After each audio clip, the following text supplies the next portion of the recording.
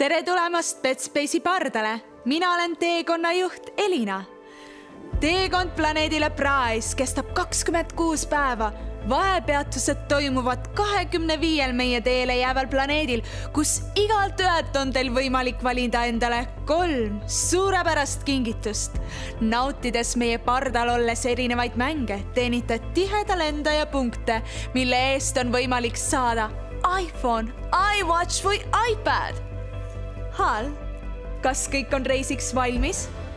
absoluutselt, oleme valmis startima võiduni.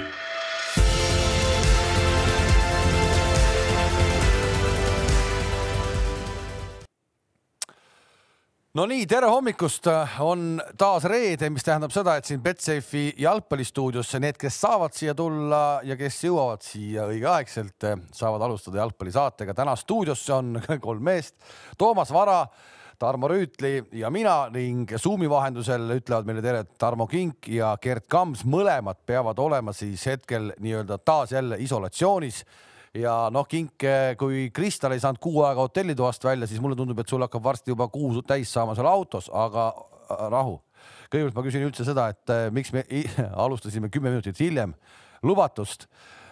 Tarmo Rüütli ei hilinenud, vaid äh, ta viibis. Ja, ja ma, ja ma küsin, et Tarmo, kus sa viibisid? no viibisin liikluskeerises nagu ja ei osanud arvestada, ühesõnaga kõik süü on minu peal, ega midagi öelda pole, et oleks pidanud lihtsalt varem startima. Tarmo, rahu, sinu kell ei ole kunagi vale. no sinu kell ei ole vale, et siis kõik ei, ma ei ole kantona kurat, kuigi mul krae on täna natuke Üle- üleval, aga, aga noh, ikka vabandan.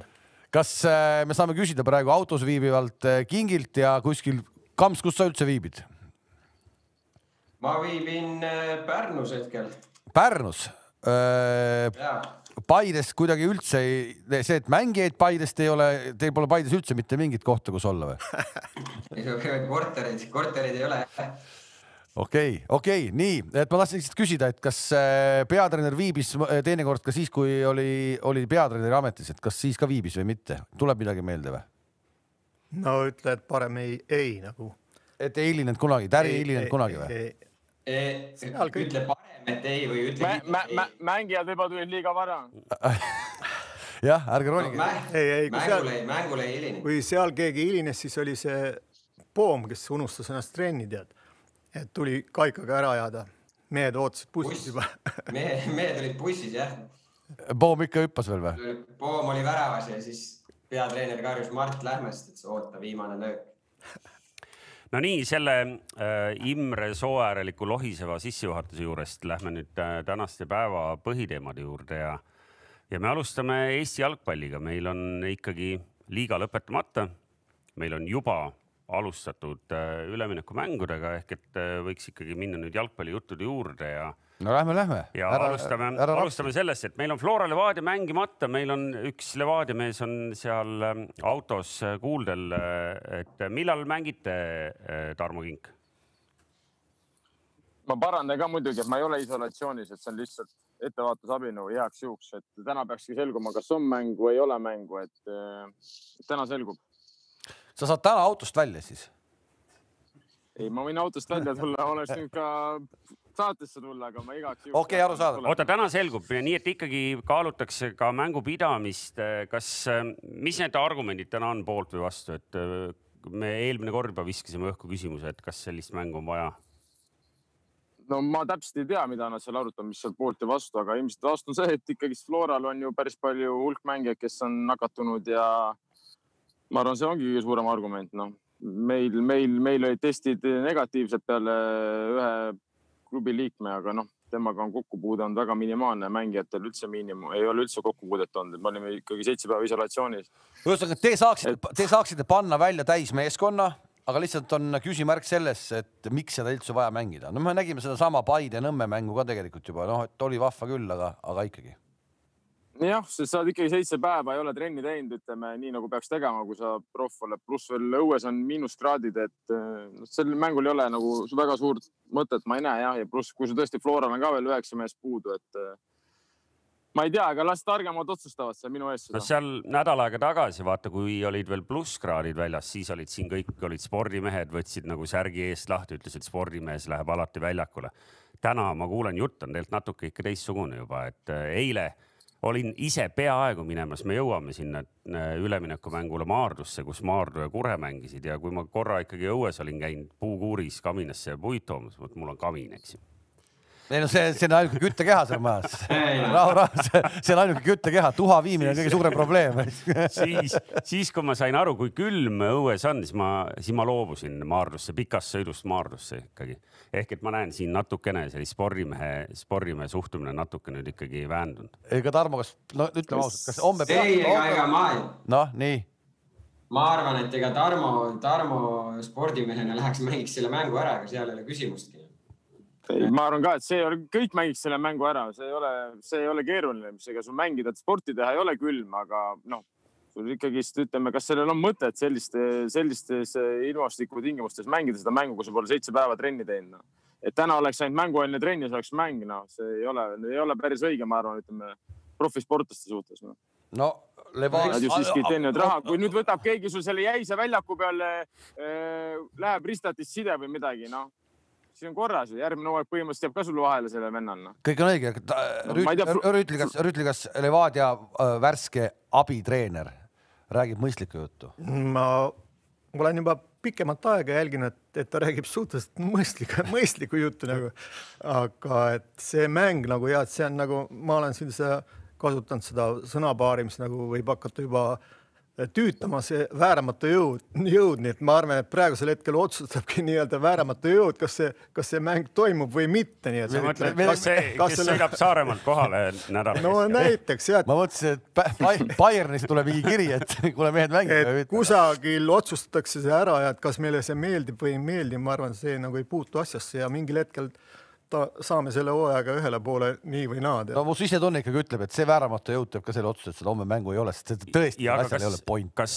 kas selle mängu ainuke point olekski see, et nendele Flora fännidele eh, anda võimalus seal kuidagi noh, karikat näha ja seal toimuks mingi nagu hõis. Flora fännid käivad ise vääramatu jõu juures iga aasta Saaremaal külas ja vot seal võivadki seda karikat tõsta. ei noh, ilma naljata tegelikult ju võib-olla oleks üks võimalus või noh, üks põhjus tõesti noh, Flora saab ühe mängu teha oma fännide ees, siis ühel hetkel antakse seal ju karikas, eks ju, siis toimub ikkagi. no aga, aga Pelle, Pelle, ei no aga Pelle ise ju ütles ka, et see on naljakas, et karikat tõstavad äh, mehed, kes pole selle nimel mitte ühtegi sammu teinud ehk et tubli mehed noh. Kuidas see nagu, kuidas see nagu okei okay oleks noh? no ma saan aru, noh, küsimus ongi, et mis see, mis, mis see seis neil tänasel hetkel on, et, et võib-olla seal nendest äh, ma ei tea, kaheksast või üheksast, palju neil positiivsed on, mõned on juba, juba paranenud. ei no ei tohiks ühegi, ühegi Covidi reegli järgi nii kiiresti ei tohiks paraneda, kui sa just, kui sa just Messi või ei ole noh. No ma saan aru, et eh, poliitbüroo siin meie koosseisus Nii. eh, otsustas ja saatis praegu Jalgpalliliidule sõnumi, et seda mängu ei ole vaja pidada, nii et. jah, et pilet, piletitulu liiga palju ei tule. võite, võite selle mängu kokku võtta. iseenesest Kalev korra mainis siin ka vahepeal toimunud Paide Kaljut seitse-neli, noh, sinna ette jäi üks teine seitse-kaks mäng, eks ju, teist, teistpidi võitjaga või kaotajaga. seitse-üks, mis, seitse-üks jah. sellest me rääkisime juba ju. ei, ma mõtlen Jaa. seda, et äh, miks nii palju väravaid, Kams? no eks äh, suures pildis mõlemal meeskonnal mingis mõttes võib ju öelda, et olid, olid pinged maas on ju, et, et, et sellepärast see jalgpallimäng oligi seal nii lõbus, oleks selline mäng olnud juunikuus, siis ma arvan, me nii palju väravaid ei oleks, ei oleks näinud. sellised suured skoorid iseloomustavad, hoopis teistmoodi, teist, teist, teistsuguse iseloomuga see mäng olnud. sellised suured skoorid ju pigem iseloomustavad mingeid madalamaid liigas on ju, et, et mis see ütleb nüüd meie, meie premium liiga kohta siin hooaja lõpus? ei no mis see, mis see ikka ütleb, kõik on ju peale Flora ja kõik on ju kuristikus praegu, et siin ju öeldi ära see juba välja kuskil. ai, ai, ai, ai, ai, ai, ai, ai, ai, ai, natukene, natuke kipitab juba jah. ai, ai, ei, ei kipita, ei kipita.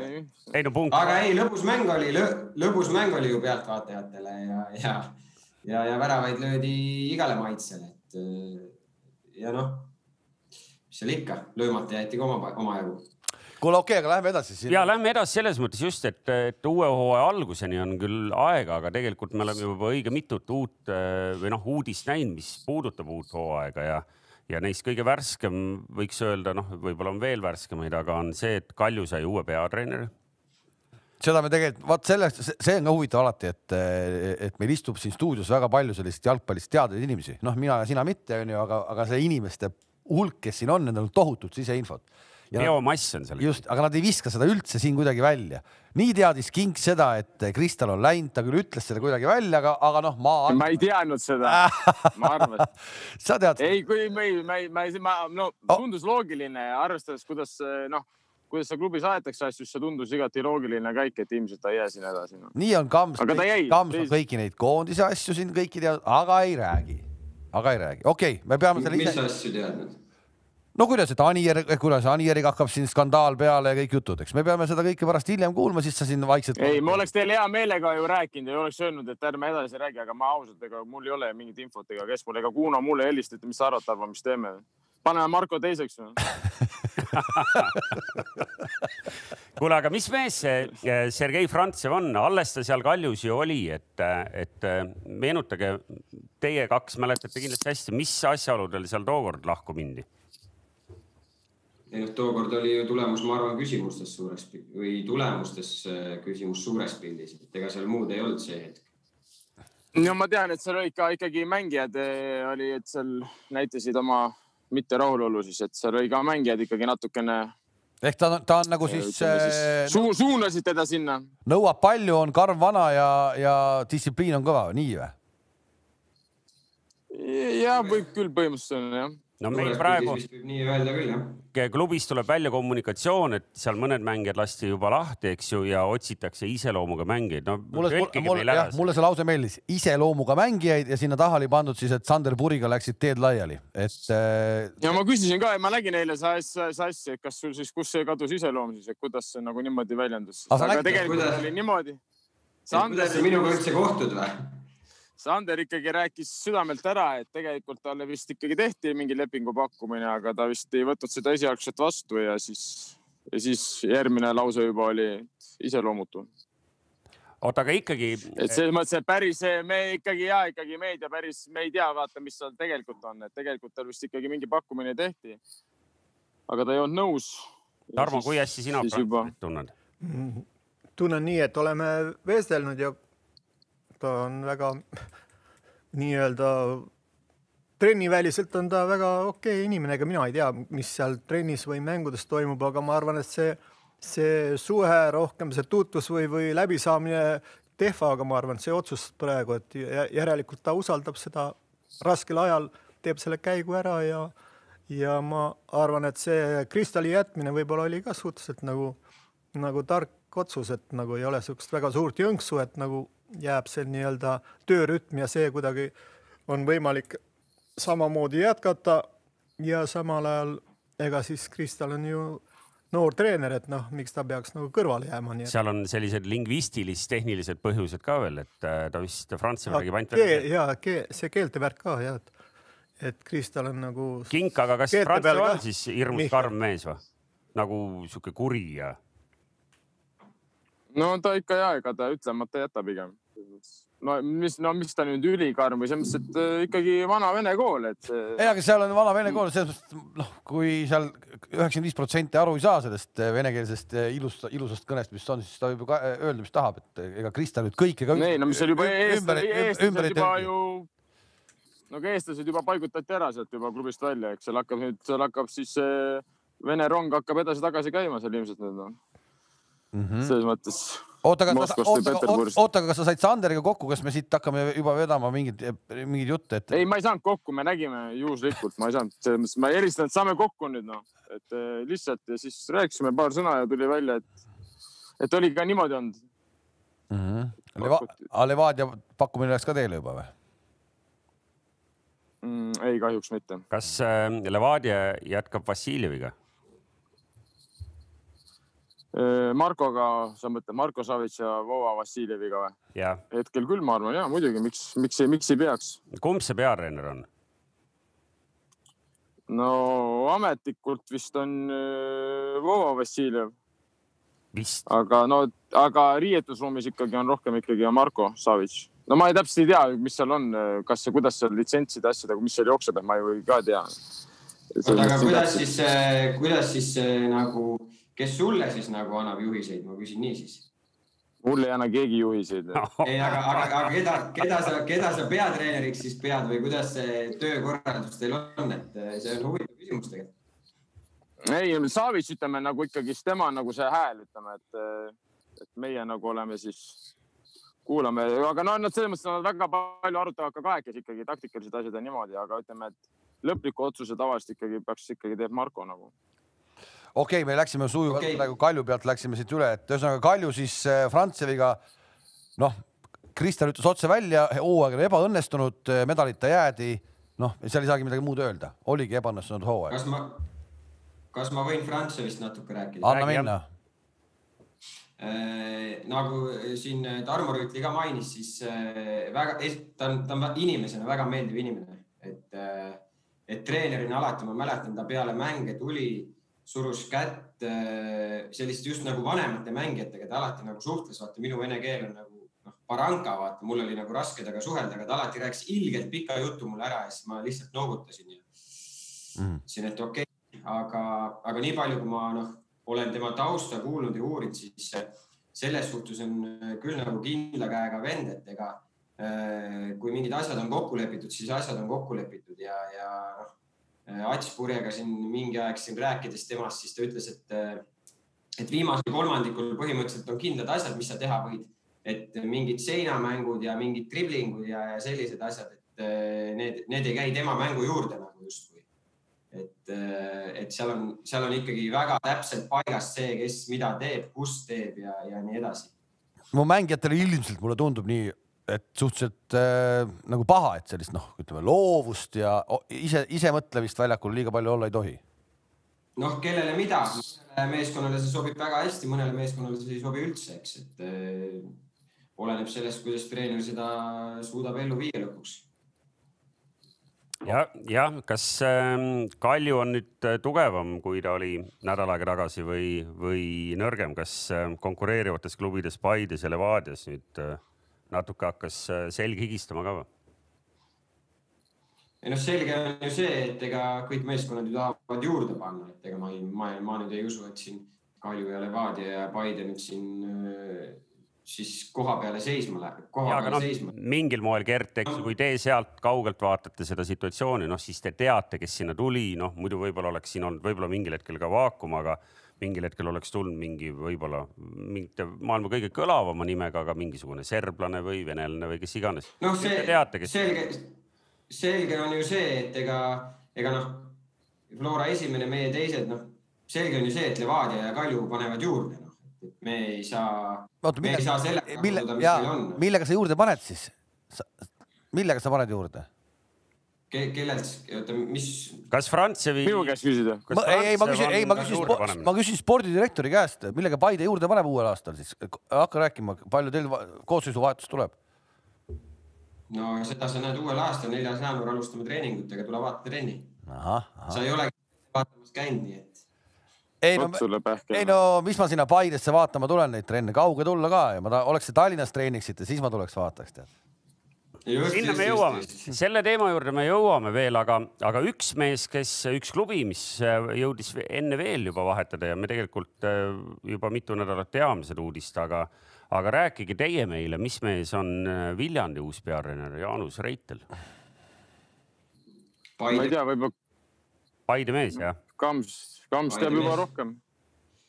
Paide mees, noh, ma ei, ma ei, ütleme nii, et ma ei tunne teda väga palju, ma siin paar kuud tagasi kohtusin temaga korra. noh, ta on töötanud pikki aastaid välismaal, väga erinevates riikides, nii Hollandis, Soomes, lõpuks oli seal, ta on vist Ameerikas äkki isegi olnud Rwanda koondise või Rwanda meistriliiga meeskonna peatreener oli ta oo, et, et, et, et päris siukse värvilise taustaga mees. Ma lugesin paari viimast intekat, mis ta siin mõne nädala sees on andnud. jutt on tal natuke selline, noh, kuidas ma ütlen, selline, võib-olla on mehe nooruses, eks ju, me siin kogenumad mehed võime kommenteerida, aga aga noh, kuulates kasvõi seda, kuidas ta sealt Rwandasse ära tuli, et noh, kuidas kõik tegid, eks ju, neile liiga ja nad tegelikult olid palju tublimad, kui tabeliseis näitas ja no sihuke klassikaline, ma, ma peaaegu oleks libastunud ja öelnud klassikaline jalgpallitreeneri jutt, ma küll ei mäleta, et Tarmo Rüütli kunagi nii sellist lapsejuttu oleks ajanud. Aga seal noh, ei noh, ütleme nii, väga veenev ei olnud, see CV on kirju, on küll, selles ma olen nõus, mis sa Kams ette lugesid, et seal on ilmselt tal on kogemust, ükskõik, kas sa oled olnud abitreener või noortetreener, siis kindlasti kogemust erinevatest jalgpallikoolidest on seal palju, nii et noh, loomulikult me ootame põnevuseks, seal tehti huvitav vangerdus, eks ju, seal on Sander Post on nüüd ka spordidirektor, on nii või? nii on. Ja, ja kui nüüd äh, juttudest on läbi käinud, et noh, Viljandi kavatseb astuda sammu edasi, eks ju, noh, mis see tähendab, ilmselt see tähendab ainult suuremat konkurentsi siin mängijate turul, nii et noh, ma ei tea, kui sa nüüd äh, Paide spordidirektor on kõik need äh, allhoovused maha maganud, siis sa said praegu kõvasti infot siit igatahes. allhoovused, no ütleme nii, et eks Viljandi jaoks ma arvan, kõige tähtsam saab olema see, et nad enda tuumikust säilitada suudavad siit ma loen juba välja, et sa käid seal juba tuumikut lõhkumas. ei ole käinud. jah, et, et kes ei tea, tõepoolest Rwanda karjäär lõppes niimoodi, et seal muidugi koroona lõhkus seda hooaega ka natuke, aga põhimõtteliselt siis äh, Reiteli sats kukkus sealt ikkagi välja, nii et see meistriliiga meistriliiga äh, seiklus seal nagu ülearu edukaks nüüd ei läinud. ja uus peatreener tuleb ilmselt ka Narva Transil, et äh, Narvast nüüd on üldse midagi keeruline rääkida, kuna need on vist nüüd üldse kogu pundiga seal äh, luku taga, piiri, piiri taga võiks nii öelda isegi, et ma kuskilt nägin mingit pealkirja, et isegi Narval on neli kandidaati peatreeneri kohale, päris suur valik ju. on, on. tagasi. King, kas sa tead rohkem selle kohta, kes need kandidaadid on? nojah, Burdakov helistas, selles mõttes rääkisime ah, Kamsile ta ei saa helistada, Kams ei oska vene keelt. ma, ma juba enne kujutasin seda etüüdi ette, kuidas, kuidas Frantsev käis vanasti Kamsiga peale mängu rääkimas ja, ja Kams noogutas ainult ja Frantsev sellise naeratava näoga rääkis Kamsile, kui, kui halvasti Kams tegelikult hakkama sai väljakul. jah mm -hmm no sellest ma sain Toomas ikkagi aru, et nagu väljakul. Maladjets äh, ütles vahepeal või? Maladjets, Gert. Молодец, опять, опять Vasil нас, молодец. ei, mina ei tea, kes minu arust oli, kas ta ütles äkki välja, et üks oli Eestist ja kolm välismaalt või, või võib-olla ma eksin, ma ei ole kindel. no kui me hakkame nüüd mõtlema reaalselt, kes siis Eestist võiks olla? jah no väga keeruline, ma ei kujuta, äkki sealt oma ikkagist, äkki ta mõtleb oma sealt ikkagi Kuroškin või Krusnov või äkki midagi sealt ma ei kujuta ette, keda sa sealt siitpoolt praegu noh, ma ei, ma ei, ma, ma, mul pole õrna aimugi enam no ja me seda välja ei mõtle ka, lihtsalt see, see, see, see, see, see punt, et neli tükki, see tundub nagu nii suur, et kõik tahaks joosta. ei no ta ei, ütles ei, ju ka no. kuskil intervjuus ju, et sinna ju tal tuleb neid pakkumisi ju saadetakse, kes tahavad treeneriks sinna saada, neid on ju rohkem kui veel noh. ja, ja, ja, ja ehk see on sama. huvitav, miks? ei, see on. miks, miks? noh miks ta seda Kalašnikovsi tagasi ei võta, seda, kes Tallinna Kalevis oli, kes tal oli seal? no mis ta võtab, nad läksid ju Riiuga minema ju, Kalašnikov on neljandal kohal, seal olid mingi preemia, mingi asi. ja siis on vaja preemiad ära maksta ja öelda, et davai, tule tee. ja maksa, maksa, Paidel on rahapuu otsas, noh. ei, Paidel ei ole rahapuu otsas. mingi Igor Prins või seda tüüpi kõlavat. aga X, X on ju. ma arvan, et X, ta ei lähe ise, ma arvan, sinna, selles on asi et nad ei taha Burdakovi juurde minna, nad ei taha füüsiliselt lihtsalt. ei, ma ei usu, et Burdakovi, aga lihtsalt sa pead ikkagi reaalselt hakkama ju Narvas elama olema, ma arvan, et ja ma arvan, et summad ei ole nüüd nii suured, suurt erinevust seal ei ole, kui praegu töötada BJK-s ja olla noortekoondise treener, kui minna sinna Narva väga põnev jah. ma arvan no aga mis Narva, okei okay,, treeneri vahetus küll, aga, aga meil on siin toimetaja kirjutanud küsimuse, et, et Narva ikkagi veel paari aasta tagune top neli meeskond. Täri, ütle sina, mis Narvas nagu valesti on läinud ja mis on nüüd tegelikult no, seal restardi peavad, kuidas tegema? Narva kohta ma olen vist sõna võtnud juba siin kuskil hooaja alguses, et nagu minu jaoks nagu noh, kuidagi nagu ei kinnistu minu, minu peas, et see meeskond on nagu nagu kõik nagu etapp, etapid läbi teinud, mis oleks vaja nagu, et olla korralik äh, klubi, aga ta, tal ei ole tekkinud stabiilsust, sellepärast et kogu aeg, kogu aeg äh, käivad need jõnksatused, et kogu aeg on jälle treeneri vahetus ja kogu aeg on mängijate vahetus ja siis on noh, no võtame, ta oli ju suhteliselt ikkagi tipus ka tänavu aasta mingil hetkel, eks ole, ja nüüd siis nagu on suhteliselt jälle nii-öelda seal teises äärmuses, et nagu. sa ütled, et etapid on vaja läbi käia, mis need etapid on? no etapid on need, mis tekitavad stabi stabiilsust ja see on see, see on nagu ma siin üks, ükskord siin mainisin, see on nii-öelda see, see klubi ülesehitus ja see vundamendi ladumine, et noh, see peab olema niisugune pikemaajaline ja, ja teadlik protsess, mis lõpuks tekib, tekitab selle pealisehituse, mis nagu on siis stabiilne, eks ole, aga praegu minu arust nende, nende nagu vundament on niisugune ebamäärane juba. kas see taandub kõik sellele, et seal on selline ebastabiil, ebastabiilne närvikava on võib-olla inetu sõna, aga seal lühikese süütenööriga selline tundliku natuuriga president, kes ikkagi tahab ise kättpidi juures olla no, ja, ja võib-olla üleval otsas hakkab see rohkem juba mõju avaldama jah, et nagu et äh, see klubi tegemine, et tegelikult see Burdakovi fanatism ja, ja noh, järjepidevus ja see, see on nagu see, mis ongi seda klubi nagu siiamaale vee peal hoidnud, eks ole, aga noh, et see nagu, et see, see, see alumine ülesehitus nagu ei ole nagu tehtud ära ja, ja. seal on, seal on üks ja sama asi on nii pluss kui miinus, eks ju, paranda mind, äh, Tarmo Kink, kes sa tead neid asju, aga et see on pere business, eks ju noh. no näiteks ja. jah, seal on tal poeg ja, ja tütar ja kõik on, eks ju, ja, siis ongi nagu, kujuta ette nagu Saaremaa.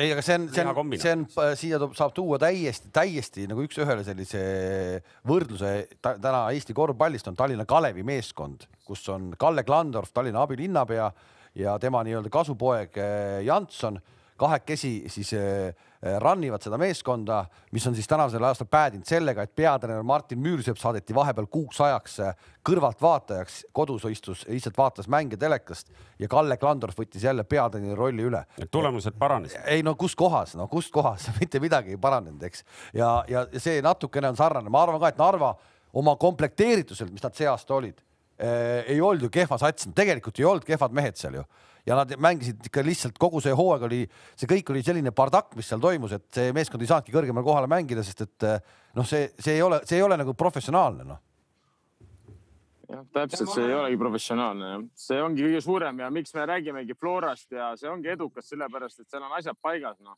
see on stabiilselt kokku mängib meeskond, aastaid kokku mängib meeskond. Täri teab isegi, kui meil, ütleme Levadias, kui meil oli see edukas meeskond, et see oli samamoodi, tegelikult meil oli see meeskond ikkagi vähemalt kolm aastat koos ja sellepärast me olimegi edukad. ei ole niimoodi, et sa klopsid kokku endale kümme uut venda iga poole aasta tagant ja siis ootad mingit tulemust, ei tule noh. pluss sul treener ka vahetub, et sa ei saa nagu, et see, need ongi need etapid noh me peame aru saama ja siin peavad need, ütleme, presidendid ka aru saama, et noh, klubi ei ehitata niimoodi, vähemalt mitte edukat klubi. jah, sa võid, võib jopata, sa võib-olla korra sul sähvatab midagi, võidad, aga kokkuvõttes sul on vaja ikkagi, et sul oleks enam-vähem okei okay, noortesüsteem sul on vaja stabiilsust klubisse, kas treeneri näol või sul on vaja välja mõelda mingi põhimõtteliselt mingi süsteem, mida sa enam-vähem mängid ja kui sa seal süsteemis lihtsalt vahetad mingil määral seal treenerit mingi aja tagant, see on nagu okei okay, noh. aga kogu aeg lihtsalt tsirkust lasta ja vahetada kümme mängijat välja, no väga raske on. Nii treeneril kui mängijatel kui klubil no.. uskumatu, see ei olnud ette kirjutatud tal peast. ei, aga ma mõtlengi praegu, kui sa praegu kirjeldad nagu meile stabiilset klubi, siis noh, kõlab nagu sa kirjeldaksid näiteks Tallinna Kalevit onju noorte. no süsteem... ma ei saa öelda, ma ja, aga eks Kalev ongi, aga ta on veel väike, eks ta teeb oma samme ja selles mõttes, et Kalev ju üritab ainult eestlastega mängida, et selles mõttes see on see väike vahe, kus noh, millega ongi raske, sul ei jätku nii palju kvaliteetseid Eesti mängijaid, et sa saad saata neid, et on Floras, on Paides, on Levadias ja siis veel Kalev täiesti oma Eesti mängijatega, et see, kui nad oleks ütleme, investeerinud sinna võib-olla no, okei okay, välismängijatesse, mida nad Arbeiteri ajal tegid ja minu arust Kalle mängis väga head jalgpalli, kui Argo oli seal treener. ja, ja fakt on ka see, et neil, neil ikka see, see vundamendi ehitus ikkagi käib ja minu arust on käib väga, veel, väga õigetel ja. alustel, et nagu see lihtsalt nad, ei, nad tuleb... ei ole veel valmis, ütleme. ja, ja saab veel oma baas praegu valmis, neil on ju ja läheb elu kohe lõbusamaks varsti, et selles mõttes, et ma selle äh, kvaliteetsete mängijatega seoses äh, meil on tulnud äh, Youtube'i kommentaariumisse üks hea küsimus ka, et kes selle hooaja premium-liiga mängijatest suure tõenäosusega lahkuvad. ilmselt on mõeldud siis ikkagi nagu Eesti mängijaid, et, et kuhugi välismaale mis me teame? no sellega saaks se, sellesama küsimuse saab ära siduda, ma pakun ka selle nii-öelda meie toimetaja poolt, kes on teinud väga suurepärase sõidulehe selleks korraks, see Betsafe'i võimalus, et järgmisel aastal tuleb Flora meistriks, eks koefitsient üks koma üheksakümmend ja et ei tule üks koma üheksakümmend, täpselt sama. ehk et Florast on tõenäoliselt kõige rohkem mehi minemas ära või ei ole? no loogiliselt mõeldes võid ju mõelda kohe Rauno Sappineni peale. teiste osas ma ei tea, Flora puhul raske öelda, noh, et. Sinjavski võib-olla võiks. jah, Sinjavski võib-olla, võib-olla Märten Kuuske nad üritavad realiseerida. ei, ei, ei oska öelda. aga kui. Reida võib-olla vaata, kui eelmine aasta Sorga läks ja siis oli hästi palju tegelikult natuke ikkagi oli sellel teemal juttu, et kes tuleb ja asendab, et kas me võime isegi öelda, et Zappinen sai veel paremini hakkama kui eelmisel aastal Sorga? Paneme juurde sinna ikkagi no. oli ikkagi edukas meie nii-öelda väga nukra koondise pildi juures oli ainukene, ainukene väga selline hea, hea, hea asi seal. no ja kui me vaatame nüüd pikemalt, siis Floras on väga vähe ründajaid, kes ei ole, on tulnud ja ei ole hakkama saanud no.. isegi Sagari tugiaine pandi Floras mängima, noh, et selles mõttes. ta pandi vasakut tuli... äärt mängima, kusjuures lõpuks Arks, lõi julmalt väravat ja lõi väravaid, et selles mõttes, et ja oli ju Lepik mingi aeg, minu meelest oli, kui ta isegi Sapiga koos, Lepik mängis ja Sapi istus kaasa või võib-olla ma eksin, Kamps, aga Kamps teab. seda ma tahtsingi öelda, et mingid, mingid mehed ootavadki praegu seda, et Sapinen lahkuks ju sealt, et, et saaks oma võimaluse. see oli Arno ajal, kui, kui Lepa mingi aeg mängis seal Sapi, äkki oli vigane või midagi, aga, aga no eks, eks muidugi Lepik ootab oma võimalust, et aga kõigepealt ta peab saama enda, enda jaoks selle tervise poole nagu korda, et väga raske on, väga raske on neid hooaegasid niimoodi mängida, kui need on kogu aeg sellised nagu ära lõigatud sulle, et tegelikult ju Lepa puhul me ei saa rääkida nagu sellisest tervest ja stabiilsest hooajast, eks.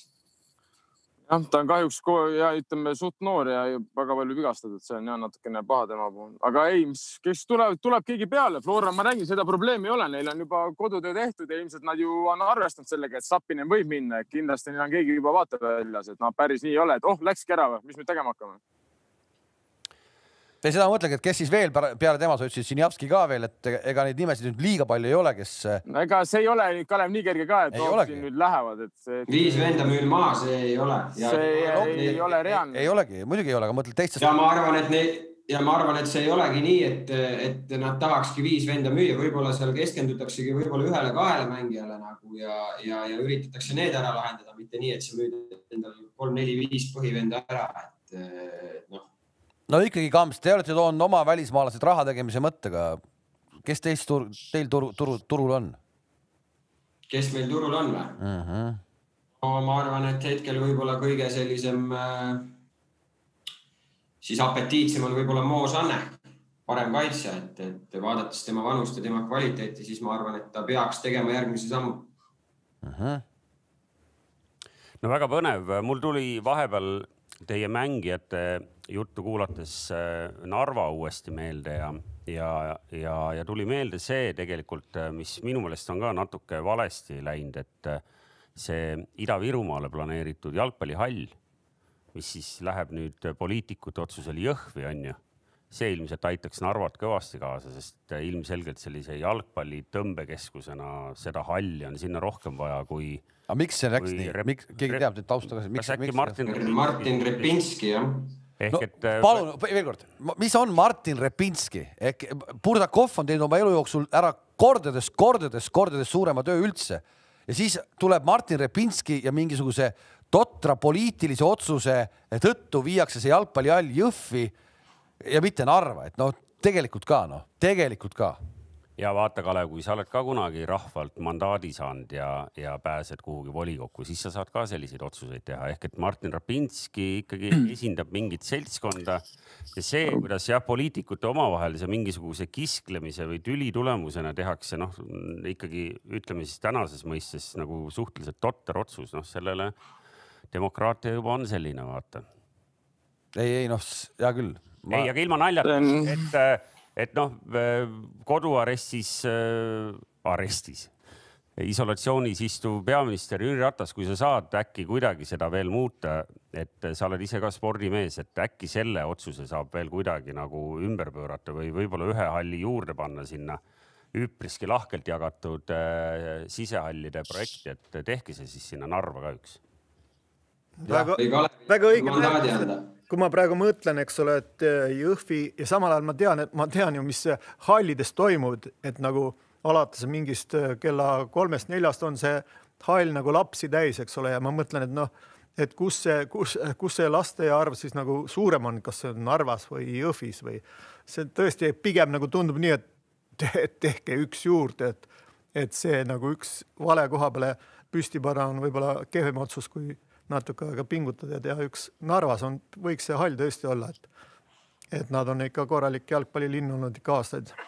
no vot, aga Äh, uuest hooajast juba rääkisime, uut hooaega puudutab väga otseselt see, mis eile õhtul juba Maardus toimuma hakkas. ma ei tea, kas keegi peale minu seda jälgis ka või olite lausa kohapeal Maardu linnastaadionil? ma jälgisin seda Whatsappi, et, et, et vaadake, jälgige ja siis ma vaatasin, et oli juba nagu kaks, kaks tükki löödud seal no.. aga, aga see ei olnud ju veel kõik, et seal oli, oli ikka vägev õhtu tõesti. no Kure võitis viis-kolm, et kes siis ei tea, igaks juhuks ütleme ära, Kure võitis esimese üleminekumängu viis-kolm. jah, teine üleminekumäng pühapäeval ja, ja selgub suure tõenäosusega, et Kure jätkab äh, äh meistriliigas, kuigi ei, ei pruugi kindel olla, seal oli mingid paarikümne minutised perioodid või periood, kui, kui Maardu ikkagi väga selgelt nagu domineeris, aga, aga mis silma jäi, silma jäi see, et äh, noh, taaskord hirmus palju väravaid, eks ju mis me ütlesime nagu, mis indikatsiooni see nagu sellise nagu mängu kvaliteedi kohta annab, et kas on meil hirmus head ründajad või mis iganes. aga seal tõepoolest oli paar kohalikku, ma ei tea, liigas ei anta neid parima värava auhindu sellise hooaja peale, aga noh, seal oleks ikka üks Maardu väravatest oleks võib-olla sellele kandideerinud. Aga mis mulle silma jäi, oli see, et Kure, kes tuli ka koroona, koroona räsitud Kuressaare, tuli sellele mängule niimoodi, et vähemalt kuus meest kindlasti oli neil väljas. Kaks meest oli, vahetusmeeste pingil oli Kuressaarel eile kaks meest, üks tuli üleminutitel sisse ka. mis muidugi näitab ja kinnitab seda Kamsi sõnu, et, et, et see esiliiga ja premium-liiga vahe ikkagi täna on äh, väga suur, kui Kure tuleb sellise satsiga kohale ja lööb viis, äh, noh, ikkagi on vahe vahel jah, Kams peab äh, nagu kübarat tõstma, et, et ühe korra oled sa siin ikkagi meil pihta ka saanud mm. -hmm. teist juba siis järelikult no sa sedasamat juttu sa oled nagu. no teema on, teema, teema on sama. ei, tõepoolest jäi, jäi mulje küll, et Kuressaare isegi selline pooliku koosseisuga Kuressaare noh, peaks ikkagi ka kordusmängus sealt äh, üle käima ja ja ma ei tea, kas see kvaliteet tuleb ka treeneri pingilt natuke või, või mitte, aga, aga jah, Kure selgelt parem. ma pean, ma pean, ma pean, ma pean tunnistama praegu tõesti, et ei oska seda peast öelda ja, ja aga huvitav oleks teada, millal viimati üleminekumängudega eh, esiliigast eh, keegi üle tõstis ja kõrgele satsi välja peksis? no viimased kaks aastat kindlasti mitte, sest Kure on alati seal käinud ja alati välja tulnud. ja, ja aga ikkagi tegelikult see on, ma, ma ei mäleta Kams kohe niimoodi, eks? Kes oleks tõusnud niimoodi? ma arvan, kunagi võib-olla mingi Valga Warrior või midagi sellist. aga ma ei ole kindel. ma arvan, et see on hiljem ka Tarmo ikkagi olnud, et, et päris sinna päris sinna kaugetesse aegadesse ei maksa isegi minna. äkki mingi Pärnu või keegi või? jah, las ta olla. las ta olla, jah. aga Paide linnameeskond sai ikkagi, ületas uudiskünnise siin äh, eelmisel nädalal. Kams ise märkasid lugeda ka lugusid, mis äh, Paide linnameeskonna kohta siin kirjutati ju ma ei tea jah, mingil põhjusel lülitatakse selliseid lugusid, ma ei tea, kas igav on või, või mis, mis see probleem on nagu, et, et jälle sihuke üpriski nagu huvitav lugu. me siis räägime loost, mida me tegelikult oleme servast puudutanud varem ka, pigem Kuressaarest rääkides, eks ju, et kasvõi kui palju Kuressaare on nagu Kuressaare sats ehk et täna siis on püstitatud küsimus, üks tubli terav uuriv ajakirjanik äh, pidas vajalikuks kirjutada loo sellest, et äh, Paide on küll tubli jalgpallimeeskond, aga, aga noh, et Paidele sealt suurt palju midagi rõõmu ei ole ja lihtsalt konstrueeris selle loo siis selliselt, et kuna mehed teevad trenni Tallinnas, siis nad ei olegi päriselt Paide sats. eks ju, sain ma õieti aru lugedes? Noh, ei. et sa said aru õigesti. enne kui Gert nagu kimbatusest nagu üle saab, ma nagu tulen sisse natuke selle, sellesama, ega see lugu ei olnud nagu päris nagu puusse, et ma, nagu te kõik teate, et ma olen Viljandist ja sinna oli põimitud ka see Viljandi, Viljandi lugu sisse, kuidas nad noh mu,, muutsid klubi iseseisvaks ja nii-öelda ta on selle linna keskne nagu. nii et see, see paralleel, ma arvan, see toimib küll, aga see, ma ei, ma ei usu, et see nüüd Paide peale kohe on niimoodi ülekantav, aga, aga mingi point seal oli küll ja et niisugused asjad nagu toimivad siis hästi ja sellised klubid on, on, on si siis, kui nad on selle linnaga nagu seotud, nii et noh, ma arvan, Paidel on siin no arenguruumi. aga ta, ei, see, aga ta on ju seotud noorte, noorte, kas... noortetöö käib, kogu see Järvamaa ja see on ju haaratud sellega, noortetöö käib.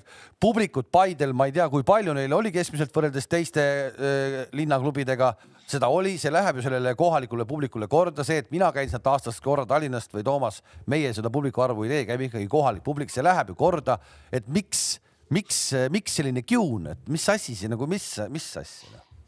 ei tea, ei tea, äh, väga huvitav tõesti, et ma ütlengi, et kas on hapukurgi hooaeg või mingi selline, mingi, mingi selline, ma ei oskagi öelda, mis asi see on, aga, aga selle Tarmo jutul lisatuseks Paide on iseseisev klubi, et Paide on juba ammu iseseisev klubi. kui me vaatame seda klubi, siis äh, noh, pealkiri a, a la midagi sellist, et palju õnne meeskond, aga mitte linn. aga klubi president Veiko Veskimäe on teinud selle klubi loomisel ja üldse, et see klubi saaks niisuguseks äh, lõpuks nagu mingis mõttes valmis, on teinud väga palju samme. loodi noortesüsteem, kus tänapäeval Järvamaal on üle terve Järvamaa on nelisada last sellel klubil peaaegu. see on suurim spordiklubi Järvamaal, me võime julgelt öelda. Äh, sellel klubil on oma kogukond, sellel klubil on oma fännid. Kui me räägime nagu ütleme sellest seosest kogukonnaga või, või esindusmeeskonnaga, siis esindusmeeskond igal aastal, okei okay,, see aasta vähem, sest oli koroona, eh, koolide külastused, eh, fännidega kokkusaamised. kui sa lähed Paide Maxi Marketisse, Paide Maxi Marketi töötajatel on Paide linnameeskonna särgid seljas mängupäevadel kui sa lähed Koeru, sa näed seal eh, väikeseid poisse, kes tulevad. sinna ei lähe küll keegi, aga räägi edasi. okei okay Äh, siis, siis oota, ma räägin edasi, Toomas, ära niimoodi, et meil on kohalikud, meil on kohalikud koostööpartnerid, et äh, sellise nagu üritisega nagu kuidagi nagu väga selline ma, mina, minu, minu jaoks oli ka täiesti nagu arusaamatu, et no kui keeruline on midagi sellist püsti panna ja see on püsti pandud ja siis tuleb mingi selline asi, et ma, ma ei oskagi kommenteerida. ehk et. ei no justkui see, see, see Veiko, see Veiko, ütleme, panus sellesse, et Järvamaal üldse nagu selline asi juhtuda saab nagu selle, sellise nagu ütleme äh, kirjutisega sa justkui nagu ei adu seda suurt pilti minu jaoks. aga nad ei adugi, selles ongi asi, ma arvan, et kokkuvõttes ei adutagi, et kui suur töö see tegelikult on, mis pannakse kokku, et isegi, isegi mina, kes on mänginud, isegi kuulab praegu mõtteid ja et tõesti, tegelikult see on nagu väga suur töö, mis Paide on teinud eh, viimase, ma ei tea, siis kümne või ma ei tea, kaua see aasta, mis aastatega see kõik kokku on pandud, et see on tõesti ja see on väga raske, ma arvan, et eh, isegi kui see treeneri amet juba ise, iseenesest juba, kui ma pean noorte treener olema, mulle tundub väga raske, aga veel panna kogu see organisatsioon, protsess püsti, see tundub väga-väga keeruline ikkagi, et see ei ole päris nii, et ops, teeme nüüd klubi ja nüüd hakkavad kõik mängima ja nüüd teeme nii, siis teeme naa ja siis oleme kõrgliigas, et see ikkagi, see nõuab ikka tohutut aega ja teadmisi noh ei, kõik õige, ehk et tegelikult. see nõuab võtme, püsivust. võtmesõna on see emotsionaalne side, eks ju, et kas sul on tekkinud kohaliku kodukonnaga emotsionaalne side või mitte ja noh, Paide puhul meil ei teki küsimustki, et see side on seal tekkinud ja, ja see side on tekkinud tänu sellele, et, et mitte ainult kogukonnajuht, palgatud kogukonnajuht ei tee tööd, vaid just nimelt, et seal noortetöö ikkagi käib ka koha peal, nii et selles mõttes Paidele ei ole meil palju midagi ette heita ma tean, et Kuressaare ise siis äh, ikkagi Kuressaares aeg-ajalt nagu lobajuttu ajades spordisõpradega. Kurele heidetakse lihtsalt konkreetselt ette, neil ei ole ka probleeme publikuga ja, ja nagu fännidega, eks ju. heidetakse lihtsalt ette seda, et näiteks tänases Kures on nagu ja, see, väga vaat, vähe su, nagu keegi, Saaremaa poisse. ja seda küll, aga okei okay,, aga, aga samamoodi on äh, Saaremaa võrkpalliklubi ka siis, kui palju seal Saaremaa poisse siis äh, lõpuks nüüd on, kes ikkagi nagu asja teevad? pooled. pooled ikkagi, täna on no kui sa võtad Pupart, Jalg, Saar, Vahter, noh, neli ma lugesin praegu kohe kokku. no kindlasti neli saad ka Kuressaare meeskonnast kokku. ei no Volles, Volles punt veidi väiksem ka, aga, aga selles mõttes ei no Saaremaa võrkpalliklubi on omaette põnev teema, seda võiks kunagi siin arutada, kui meil on nagu jalgpalliteemad otsa saanud. muuhulgas äh, annan, äh, annan võimaluse endale tervitada äh, Karli Allikut, kes jõudis eile Saksamaa karikafinaali võrkpallis mis on seda suurepärasem saavutus, et Karli Alliku isa on väga ebasportlik ja see, kuidas sealt perest on kõva spordimees tulnud, on, on seda nagu tähelepanuväärselt. nii, nüüd on tänase päeva võrkpalli populariseerimise minutid, need on tehtud, see, see on ka tehtud ära nii, aga noh, selge, noh ehk et ähm, Paide asja saime nagu selles mõttes klaaritud, et tõepoolest äh, lahmida pole mõtet ja, ja Paide, kes võib-olla tõesti on nagu tänase äh, sellise jalgpalli kohaliku skeene nagu ikkagi ühe, üks positiivsema otsa näidiseid, et äh, Paide kallale minna võib-olla tõesti ei, ei maksa ja, ja võib-olla võiks siis enne, enne natuke seal arutada ka, ka asjaosalistega, kui lahmima minna. meil kell surub peale me tahame rääkida Eesti koondise. mul on ja. aega. sul on täna aega?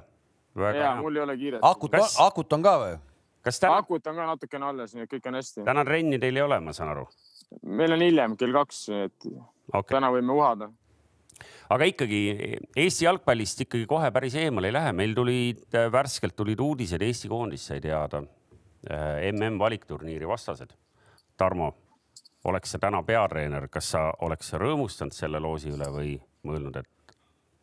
ei, mina. sellist, sellist mina, loosi pole veel välja mõeldud, meil ei ole Eesti ka rõõmustanud. ei ole kunagi nagu eriti nagu emotsioon, emotsioone nagu välja näinud selles, mis, mis loositakse, no mis, mis, mis tuleb, see tuleb, no sa pead kõigega nõus olema ja loomulikult, kui sa nii pärast hakkad vaatama, loomulikult, et mõni, mõni grupp on atraktiivsem, mõni on vähem atraktiivsem ja mõnes on nagu noh, ma ei oska öelda, et kasvõi nagu öeldakse, et nagu ise sa tead, et sa pead nagunii piinlema, eks ole, aga et siis no vähemalt äh, näed seda vastaste kvaliteeti, nii et. no aga täna okay, Belgia. oota, oota, ma korra küsin. Äh, omal ajal nii teile kui selle, kui treenerile, kas seal oli tegelikult ka, oli ikkagi natukene selline, et ühte satsi tahaks küll saada, et pole, tahaks selle satsi vastu mängida. sina treenerina, vaata, me ootasime kogu aeg siin Inglismaad, Inglismaa lõpuks tuli ja nii edasi, nii edasi mm.. mängijatena teile oli teil mingi selline, et kurat, see, see võiks nüüd seekord tulla, et tahaks proovida? tahaks kasvõi Wembley'l mängida, noh või vastupidi, tahaks. mind ei ole, mind ei ole. San Marinot või Andorrat, et äh, saaks ikkagi punkte ka. vahet ei ole. no ei, ei ole olnud. ma ei mõelnud. ma ütlen, need mõtted võivad ju käia nii ja naa, aga lõppude lõpuks me peame ikka leppima sellega, mis tuleb ja see seekord täpselt samuti, ega mis siin ikka nuputada, et nagu tuleb vaadata, et ahaa, need vastased ja noh, selge, kes seal nüüd siis nagu mitte, mitte nagu mängitav ei oleks, noh, elu on näidanud, et, et võib mängida ka Belgiaga, nii et, nii et äh, vaatame, mis seekord saab. kas siis, kui me Belgiat võitsime, siis sina olid peatreener või? jah. jah. taga, selline tagasihoidlik jah. jah, aga, aga, aga siin tuleb natuke selles mõttes tunnistada, et Belgia see nii-öelda suur töö noortega hakkas ju alles hiljem. oot, oot, oot, võta see Belgia sats, kellele, kellele me pähe tegime, võta, seal on äh Vertongenid äh, Äh, ma ei mäleta peast enam kõiki mehi, Vermael ja neid sellised mehed. kõik on õige. ära, ära Kalev võta midagi ära sellelt meest. ma ei, ma ei, ma, ma ei võta, ma ei võta absoluutselt ära, ärge rahu, ma ei võta ära sellest meest. ma mäletan väga hästi Janno Kivisillaga ma tegin tol ajal neid meistrite liiga mängude kommentaare ja, ja ta ütles, et Belgia läheb alles ülitugevaks nüüd paar-paar-kolm aastat veel. ja, ja täpselt nii on läinud ka, noh. ma ei võta. no tänu sellele läksidki me enam maa peale tõime, noh. no just, just ehk et Belgia peale Eesti mängu hakkab tavaliselt palju juhtuma no.. kes lastakse peatreener lahti, kes hakkab süsteeme muutma Belgia tugevuse kohta meil nagu küsimärke ei ole. Äh, ülejäänud vastased on Wales, Tšehhi ja Valgevene, eks ju. Valgevenega me oleme alles hiljuti mängida saanud ja, ja noh, eks ju ilmselt kõige reaalsem sealt punkte võtta, aga samas noh, vanasti oli vähemalt selline legend, et noh, et meie, meie koondise juures, ma ei tea, pole, pole numbreid välja võtnud, kas sealt nagu ajaloost tegelikult seal nagu väga palju tuge leiaks, aga et noh, sellised Briti satsid, eks ju, natuke sirgjoonelisema jalgpallisatsid, et sobivad meile hästi, et noh, meil on ka sellised võitlejad mehed sees, Raio Piiroja ja et noh, nendega oleks nagu tore mängida. kas äkki Wales on hea loos meile või? ei no, ega ta paha küll ei ole, ega ta on täiesti täiesti jah, meie, meie nagu mõistusele nagu vastu, vastuvõetav nagu mäng, mängustiil, et nagu ei ole mingist äh, ülitehnilist lõunamaist jalgpalli, mis meile võib-olla on kõige mm, mitte, mitte nagu noh, hoomatav, aga ei, see Wales on jah, täiesti, ma ütlen, et siin on täpselt sellised vastased, et sa võid ju kõigiga mõelda, et nendega võib mängida ja sa võid ka lõpuks olla fakti ees, kus nagu saad kõigest. no Aivar Gareth Poh-, Bale'i näeme. Aivar Pohlaku, Veil-, Veil-, Walesi, Walesi osas ma ikkagi vaidleks vastu, et praeguses hetkes äh, Wales ikkagi ülitugev nagu, et äh, vaatad. Wales, Wales üritab ka Mängivad. ikkagi mängida jalgpalli. Jaa, aga fakt on see, et kui sa- teine, kui sa enne mänge hakkad tegema neid nii-öelda videoklippe seal ja siis sa ikka saad aru, mis toimub, eks ole, aga, aga sa võtad mõne, mõne natukene teist stiili meeskonna, noh, siis on see kuradi kohtade vahetus ja kõik on niisugune, et noh, et meie, meie, meile jääb ta natuke kaugeks, aga ma arvan, et Wales ja sellised, ütleme, Tšehhi ja ja Valgevene ja no need, need on täiesti nii, et noh, vaata ja mõtle läbi ja minu, no problems. minu meelest Tšehhi mitte see, et jalgpall, tulemus on ette nähtud, väga hea, õige, õige. aga sa saad aru, mis toimub. Tšehhi jalgpall on ka praegu tõusuteel, et Tšehhi koondis on ka praegu viimasel ajal päris häid tulemusi näidanud ja minu arust kaks klubi mängib ju ka Euroopa liigas, et et Tšehhi on ka nagu läinud praegu hetkel tugevamaks, kui ta siin oli mõned aastad tagasi no.. jah, no ilmselt, kui me vaatame oma vastaste rahvuste liiga tulemusi, siis äh, suhteliselt hirmutav. Valgevenega kindlasti peaks veidi paremini hakkama saama, kui viimati saime, et, et saab näha. ütleme siia vahele ära, mängud hakkavad juba märtsis peale, eks ju, aga, aga meie saate peasponsor Betsafe arvab äh, igatahes nii, et kui te olete julged ja arvate, et äh, Eesti võidab alagrupi, siis saate oma raha tagasi kahesaja viiekümne kordselt, nii et äh, siin ma ei tea, Kink, on sul Inglismaal teenitust midagi alles veel, et, et äh, siin on võimalus proovida. Eesti jääb a- alagrupis viimaseks, koefitsient on üks koma viiskümmend, ei jää viimaseks, koefitsient kaks koma nelikümmend viis. alaliidu president Aivar Pohlak ütles välja kõige nadima eesmärgi üldse, mis seni Eesti jalgpallis välja on öeldud, vältida alagrupis viimast kohta.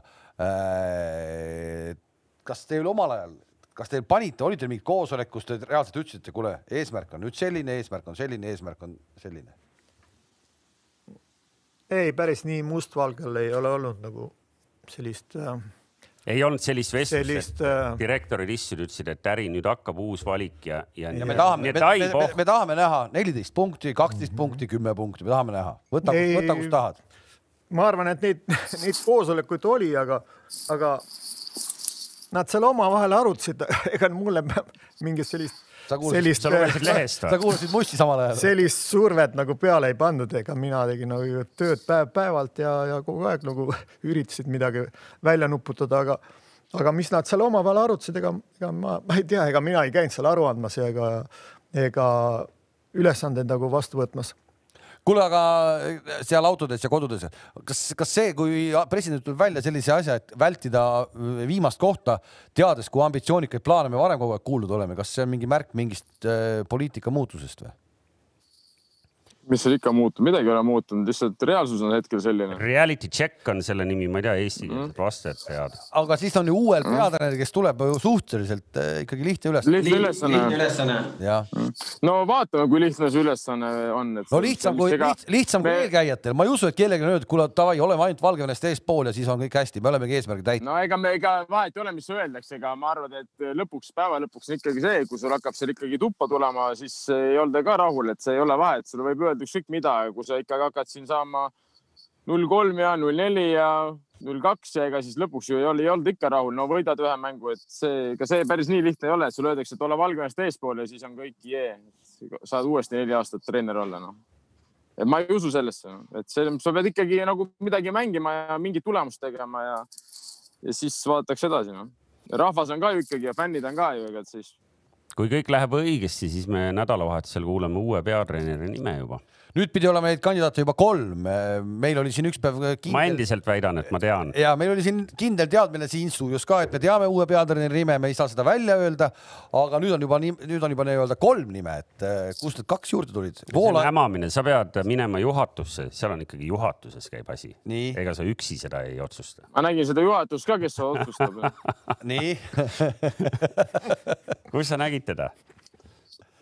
No kirjutas seda juhatust, kes otsustab, kes meil uus peatreener on. jah, ehk et tõepoolest, kui läheb plaanipäraselt, kas äkki äh, homme peaks kogunema juhatus ja, ja võib-olla kui on kiired mehed, teevad otsuse ära, ma saan aru küll, et lõplik läbirääkimine veel on detailides siis vaja ära teha, aga, aga äkki tuleb uudiseid juba nädalavahetusel nii et tõepoolest ütleme veel ära, et, et Betsafe arvab, et kui Eesti saavutab alagrupis vähem kui kaks võitu, siis on koefitsient üks koma kolmkümmend kaheksa ja kui rohkem kui üks võit, siis koefitsient kaks koma kaheksakümmend viis ehk et need kõik need erikoefitsiendid nüüd selle mm valikturniiri kohta leiate ka Betsafe'i lehelt üles.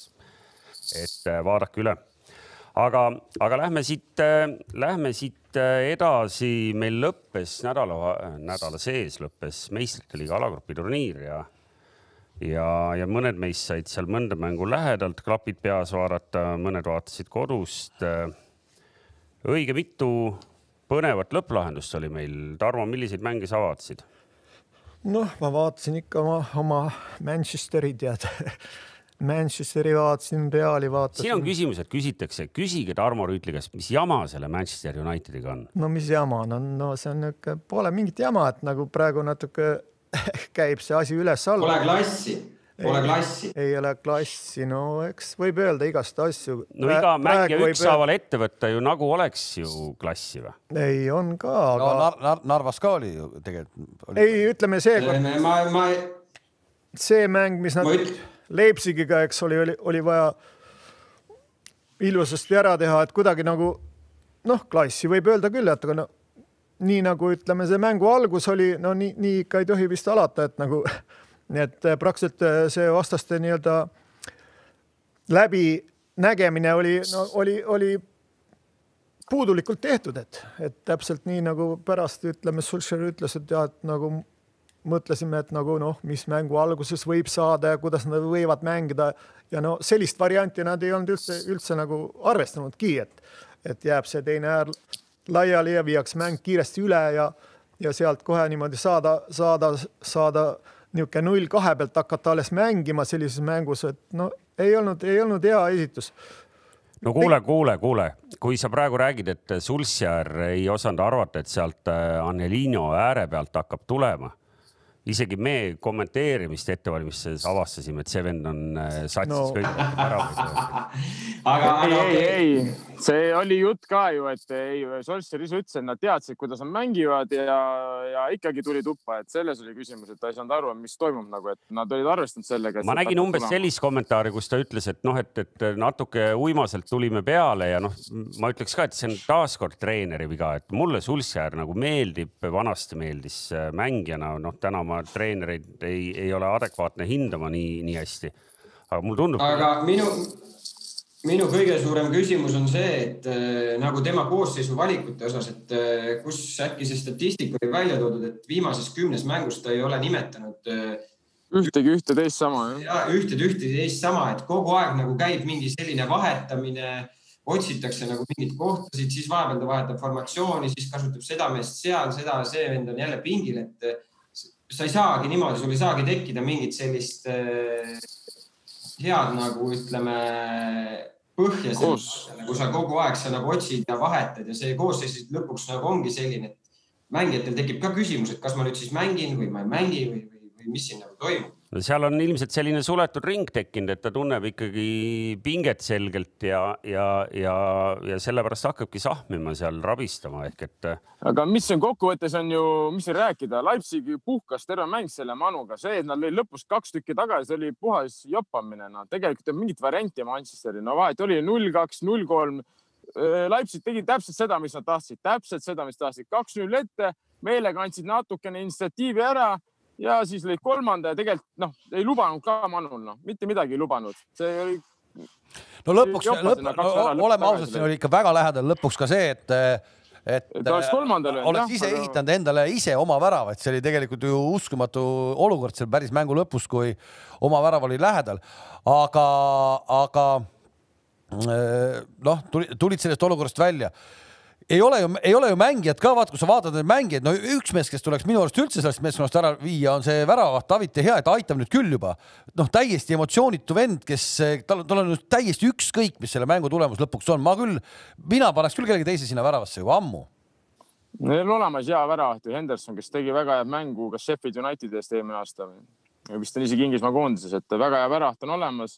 seda ma ei tea, aga noh, see on selge, et seal on kogu kõik see, kuidas Manu Manchester üldse mängib, see on nagu vaadake Leipzig, kuidas mängis, no seal on eh, maksimumsöödud olid kümne meetri pikkused, kümme, viisteist ja siis diagonaal kümme, viisteist. aga seal hakkab McDonald'i hakkab maast sööta andma kolmkümmend viis meetrit läbi nelja liini. no kuidas see võimalik on, kuidas, kuidas seda niimoodi jalgpalli mängida, noh? see ei tundu reaalne, no vähemalt sellel tasemel sul ei lase keegi kolmekümne viie meetrist söötu maast anda ja siis mängida, see on lasteliiga, noh. et Ei, minu jaoks- Leipzig ongi minu jaoks kõige suurem küsimus on ikkagi ka nagu Manchesteri puhul mängijates nagu, kui sa mõtled nagu Manchesteri sellistele hiig-, noh, hiigelaegadele või sellistele nagu Manchester on olnud tugev, noh. sa praegu, Tarmo ütles ka, noh, kui sul on McTominay, sul on äh, kaitseliinis on Maguire, Lindelöf keskkaitses, see minus see ei tekita sellist tunnet, et kurat, vot see on, see on kõva punt nagu. no, Leipzig mängiski paremini, oligi parem noh. Manchesteriga on siis äh, head aega, et nagu saime ühele poole, aga no mul oli siin veel teine nii-öelda kriitiline oli see Madridi Real, et kes oli nagu endale ka koha väga keeruliseks mänginud, aga vä- väga ilusasti tulid välja ja stiilselt ja ma olen täiesti nõus Zidaniga, kui üt- ütleb, et see oli meie kõige, kõige nagu täiuslikum mäng see aasta, et ma, ma arvan, et see oli okei okay. kes meil oli seal, kommenteeris seda mängu, tuli poole ja ütles, et Real Madrid mängib hetkel selle aasta kõige ilusamat jalgpalli, see just poole ajal ja see. Sander. Aa, Sander jah. Jürjens, Jürjens, Jürjens, Sander oligi, sina ei saanud, sina ei saanud olla, sina olid ju, panid jooksu, et sa panid Pärnusse ära, aga vakstud, ainuke, ainuke jalgpallur maailmas, kes on vakstust puutsadega käinud koondise kogunemisel. ehk iseenesest siis oligi nii, et, et Real siis kui vaja oli, mängiti ära, samas teisel satsil selles grupis, kellel oli ka vaja, Milanol seda mängu tegime meie Need ei teinud ära, mängisid null-null ja lõpuks oli Šahtaril ikkagi väga selgelt eesmärk see Euroopa liiga koht võtta. ja vaadake, kui te hakkate Conte, kui te hakkate Conte listi vaatama, kuidas tal meistrite liigas läinud on, siis tegelikult on see üks puru ebaõnnestumisi. jah, ei, mul oli Interist isegi natuke kahju, et, et Conte sümpaatne mees ja, ja kõik jutud, aga tõepoolest Inter ise endale selle alagrupi turniiri selliseks tegi ja, ja see viimane mäng võttis võib-olla kogu, kogu kuuemängulise seeria tegelikult kokku, et. Aga oleme ausad, mängisid väga halvasti ka Jah, Inter just. kodus ikkagi. mingit teravust põhimõtteliselt ei ole, momente väga ei ole nagu, et ja tuim hõõrumine nagu tuim Jaa, ja, jaa, nagu, et täiesti tuim. ühtemoodi, et midagi nagu muud, uut, midagi natuke proovida või keegi võtaks, Erikson tuli sisse, läks kohe mäng lõbusaks, oleme ausad. Aga ta jõudis nii vähe Oli olla. ja veel kord ja, ja aga ju, aga oleks ta varem. ja aga vaata veel sama asi, mis enne mullegi tähele, kasvõi siinsamas Eestis sa vaatad, kui on võimalik teha neid vahetusi nii palju, siis tehakse korraga vahetus kaheksakümne teisel minutil, tuuakse, ma ei tea, korraga neli meest väljakule. Ja mitte ühtegi korda mina veel neid mänge, mis ma näinud olen või kommenteerinud olen, et siis juhtuks midagi jube head. Need mehed ei jõua nii lühikese ajaga, see, see kõik, see muutub, see mängu iseloom muutub nii kiiresti ära ja nad ei jõua sellesse mängu sisse tulla, et selle alles jäänud kümne minutiga midagi, midagi korda saata. Neli meest, neli, neli meest on ikkagi pooled väljaku mängijad põhimõtteliselt tuuakse uued ja nad ei jõua selle kümne minutiga kuradi asju paika saada no.. no eks see Erikson pandi ka kindlasti sellepärast teatigi, et seal on, tal on hea kauglöök ja äkki tuleb veel mingi trahvikas või midagi, et eh, saab seda lüüa, et see oli selge, aga muidugi selles mõttes on õige. See on nii väike aeg, midagi korda saata, et. aga Sanchez ju saatis ju peaaegu korda, kui oma mees tõrjub, tõrjub ära. just, ma tahtsin öelda, kui Lukaku suur kolp ei oleks sinna ette see jäänud. kõik, see kõik on, see kõik on äh, nagu selline juhuslik, aga nad ei võtnud selle, selle, see, see, miks seda nelikut ei või tuua sisse, ma ei tea, alates kuuekümne viiendast, seitsmekümnendal, seitsmekümne viiendal, kaheksakümnendal, miks seda nii ei või teha, miks seda peab korraga tegema nagu kuradi jääokise? Seletage mulle ära, ma olen jalgpallist kaugel tee. varem ära muidugi, pane ründava mängijad sisse, ei, see on õigus, ma ei saa ka aru, mis neli minutit annab mängida, mine nüüd muuda mängu või, mis see on nali noh. anna kuuskümmend viis, seitsekümmend, pane kindlalt sisse juba, kui sul on vaja võita, sul on reaalselt vaja võita. no pane sisse natukene värskust juurde ja elu, et ja ma olen selles mõttes, ma olen nõus, et neli vahetust kaheksakümne neljandal minutil teha. muidugi sul võib minna õnneks, võib muidugi, kõigil võib minna, aga, aga see tundub nagu loogikavastane, vähemalt mulle tundub see loogikavastane. Tarmo. ega meil siin Eestis vist sellist võimalust eriti nagu äh, ei ole nagu äh, selliste teemadega tegeleda.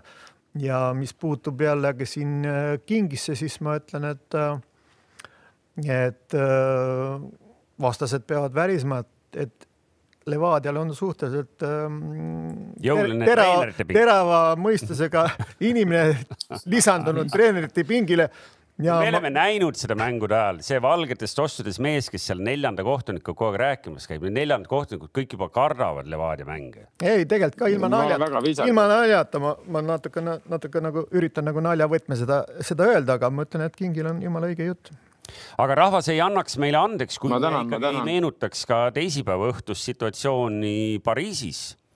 ehk siis Rumeenia kohtunikud jäid elu hammasrataste vahele tänu sellele, et, et rääkisid omavahel rumeenia keeles ja seal ikkagi käis sõna, sõna negru läbi, mis mustanahalisele kõigepealt siis abitreenerile, kes punase kaardi sai, ei meeldinud ja siis muidugi Demba Ba eestvedamisel tõmmati seal korralikult äh, saak käima. kas, kas asi läks natuke ikkagi valesti?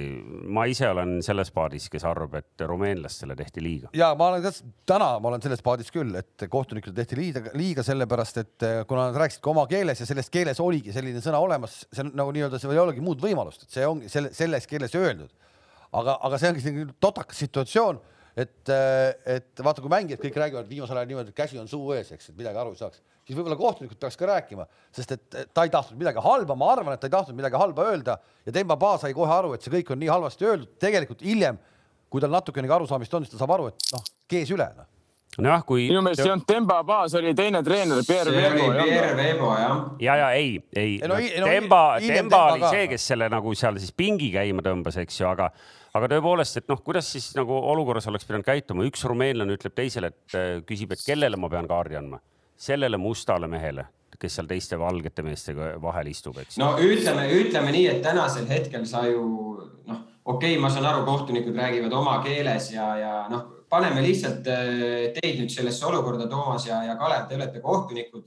kui teie peate nüüd väljendama. kõik on õige, kõik on õige. siis, siis, siis sa ju siis, siis sa ju ütled ka Kalev niimoodi, et kuule, Toomas, et äh, äkki see must härrasmees seal on ju, sa ju ei kasuta seda sõna, mida sa tead, et. ja aga, aga keeles eestikeelne selles- sõna must ei, ei aja neid pöördesse, sest nad ei saanud aru, mida ma ütlesin aga, aga rumeenia keeles, keeles must keeles on negru. jah, see keeles selles. nii, aga, aga see te tahate, kas te tahate nüüd mulle väita, et äh, selle negru asemel ta ei oleks saanud mingit muud sõna kasutada? no ütle mulle musta, musta sünonüüme eesti keeles. või rumeenia keelest tume, ma ka ei tea. noh, Nutella midagi, kuidagi sa ikka saad, noh. Kuule, rahu. ei, okei, okei mehed rääkisid mina oma- arvan, et kogu see kogu see jant ühiskonnas on läinud ikkagi natukene käest ära, see, see on nii-öelda keele kuradi maa, keelekümbluse teemadega tegeleda, et ähm, pigem on ju lihtne on siis Rumeenia kohtunikke mitte nagu panna enam rahvusvahelistesse mängudesse. ei no Rumeenia kohtunikud said oma kooli kindlasti kätte siit ja noh,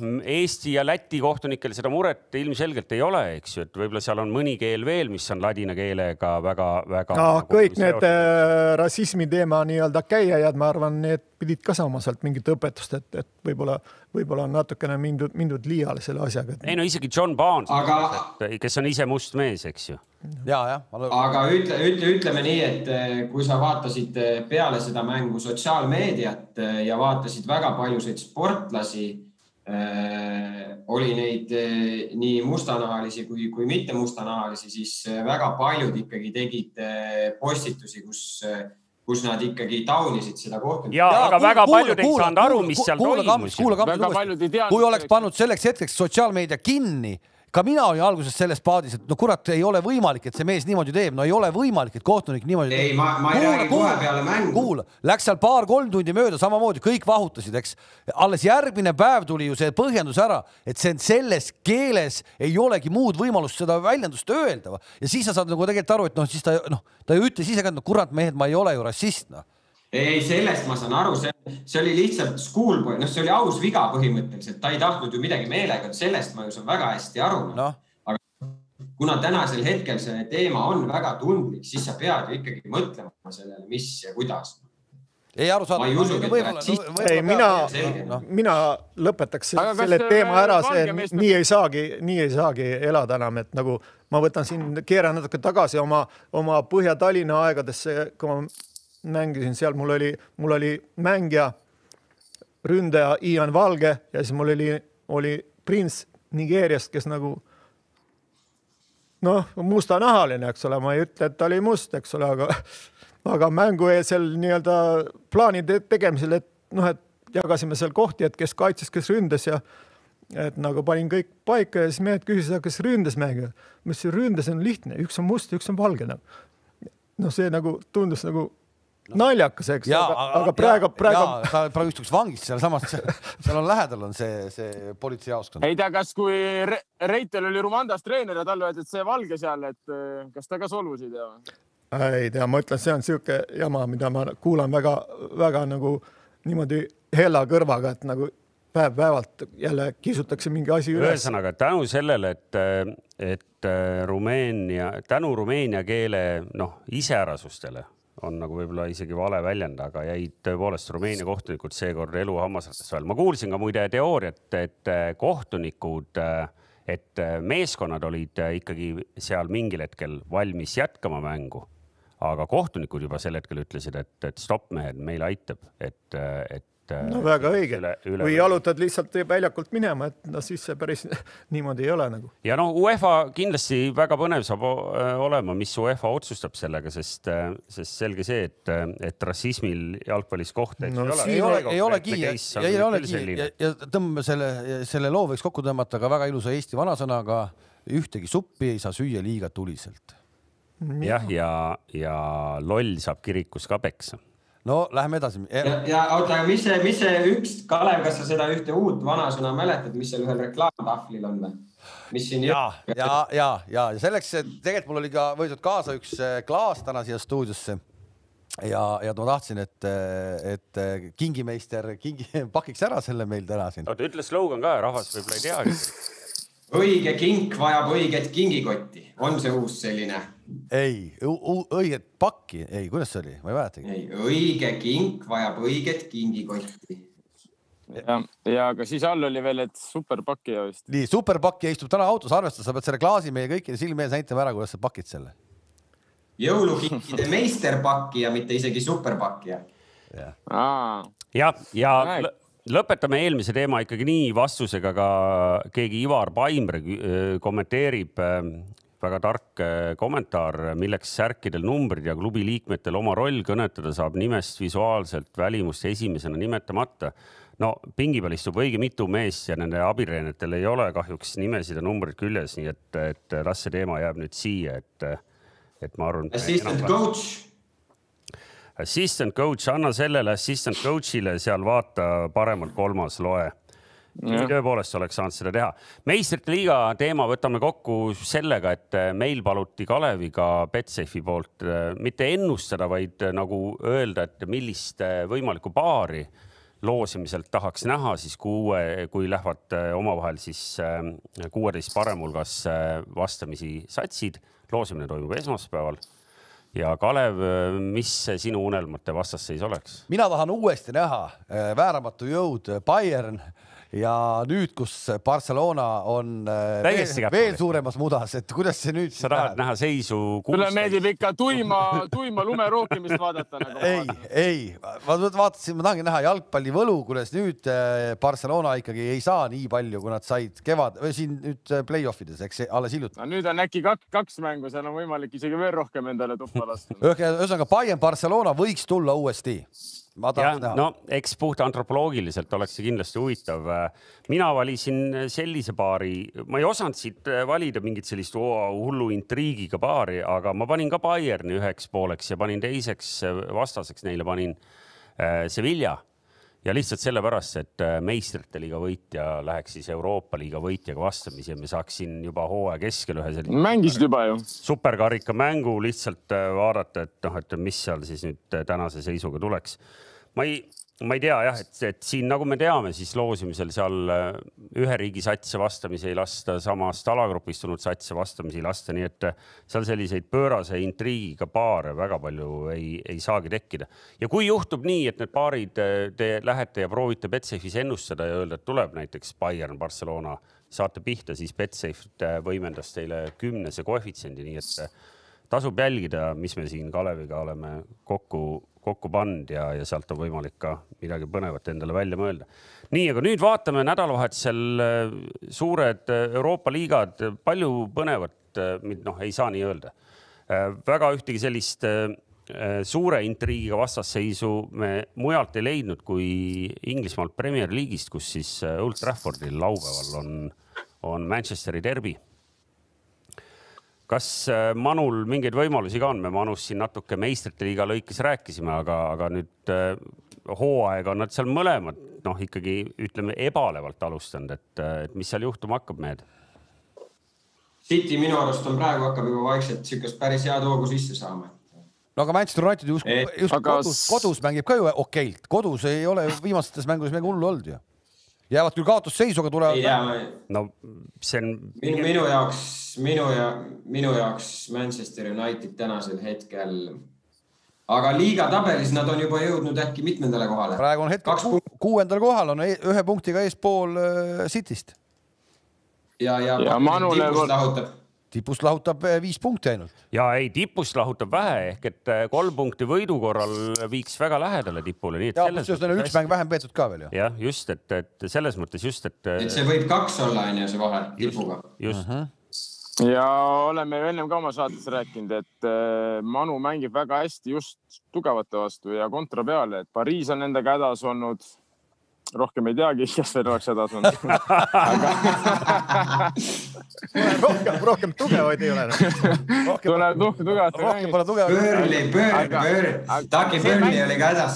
Burnley oli ka, et selles mõttes, et need eh, no kontra peale nad mängivad hästi, kui neil tekib ruumi, neil on ees kiirust ja see on nagu pigem rohkem nende mäng kui nagu ehitamine, et, et Manu nagu võib isegi ohtlik olla, et City peab olema väga kontsentreeritud, et neil ikkagi tekib, et seal vahepeal jäävad magama seal kaitsevennadest, aga nagu ei võta tõsiselt.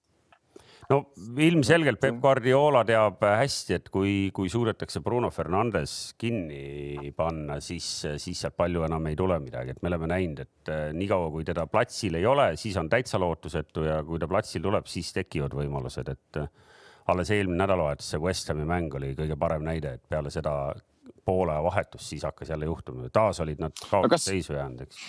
aga kas Cavani saab mängida, keegi oskab öelda või sai ikkagi mingi karistuse? ei ole, ei ole karistuse kohta veel. ei ole küll lugenud. karistuse kohta ma pole ka lugenud, ma saan aru, et ikkagi ma, see pauk eelmisel nädalavahetusel oli, oli ikkagi piisavalt tugev, et mitte saaks kaasa sõita sinna äh, Leipzigisse. aga nüüd ma peaks, pole küll kuulnud, et vahele jätaks. eks neil on ka täna kell kaks trenn, vaata nagu teilgi. ja, ja, ja, ja ehk eks Olle helistab pärast. Olle helistab sulle pärast jah. aga, aga meie äh, kruusvara äh, Betsafe'i ennustusvõistlus on ka selle mänguga seotud, nii et, et siit saab kohe äh, üle minna ja vaadata, et, et mis me arvasime. ütleme ära ka, et eelmine ennustus, mis oli siis Põhja-Londoni derbi peale Tottenham Arsenal, seal muidugi ikkagi superhoos olev Son, olgem ausad tassis, tassis su välja või ütleme nii, et, et mind, mind vedas alt. Kruus ennustas seal, et äh, Tottenham võidab. see oli võib-olla, see, see oli võib-olla kõige aasta kõige lihtsam ennustus üldse seal oli kohe esimese valiku pealt, ma võtsin selle ära, kõps ja see, noh, see oli teada, et ma selle pihta panen. Tottenham. ma nüüd päris täpselt, ma päris täpselt nüüd ei mäleta seda, millal üldse Toomas Vara millelegi pihta sai viimati, see on ikka päris kaugetest aegadest. rahu, rahu, seis on kuus-neli ja, ja see tähendab ikkagi sellist klassikalist Eesti jalgpalliskoori, mis tähendab ka seda, et see võib veel siin muutuda mõlemat pidi uh. Mhm. -huh. aga, aga mina tõepoolest ennustasin, et Tottenhami esimese kolmekümne minutiga ei skoori, aga kuna siis Son tõepoolest sealt põhimõtteliselt võttis keskväljakult palli, eh, jooksis sinna kastijooneni, isegi mitte päris jooneni välja ja lihtsalt keerutas taha nurka kaks raamidesse pealelööki vist üldse oli seal ehk et Murinolt jälle selline klassikaline, täpselt peenelt äh, nii palju kui vaja mängitud mäng. üldseis kuus-neli Kruusi kasuks. tänane ennustus siis äh, Manchesteri derbi peale, Kalev.